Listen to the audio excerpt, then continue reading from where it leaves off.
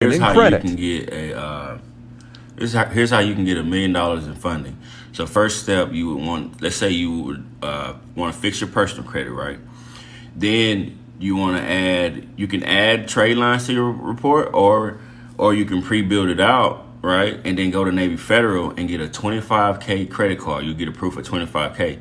You can do that at Navy Federal, Penn Federal, uh, First Tech Federal.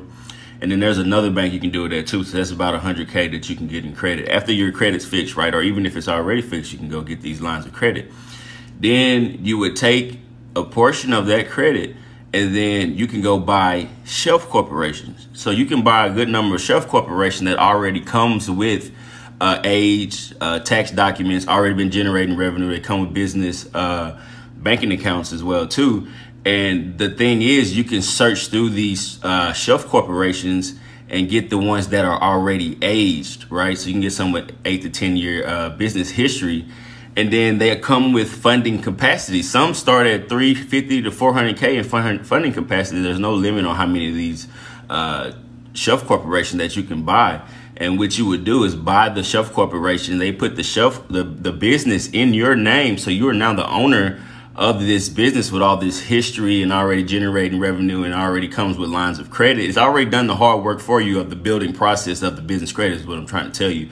And once you become owner, you in, inherit all this business experience and history, and now you can just go apply for lines of credit under these shelf corporation business names and you can go get 100k lines of credit, two, 300k lines of credit, or you can go out and get the, the funding capacity of these businesses, and it's based on the gener- the uh, revenue generating, age of the history, and uh, you know the volume sales and as such. So you'll have all these things, and then you can go out and get multiple, um, you know, shelf corporations and go out and get these high limit lines of credit.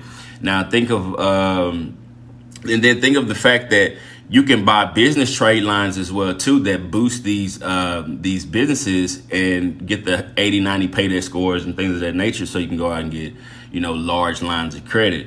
Um, and also these shelf corporations they they they operate as private banking institutions because you can use these shelf corporations to go out and buy 18 wheelers uh, houses commercial buildings uh, anything that you can think of to generate revenue, you can do it through these shelf corporations. You don't have to do any work. So it's all about cutting down the steps and trying to do like a quantum leap, right? And and just hack, do the time hacking to where you can just already jump into business and get to generating uh, revenue with the history that these businesses is already uh, built out, basically.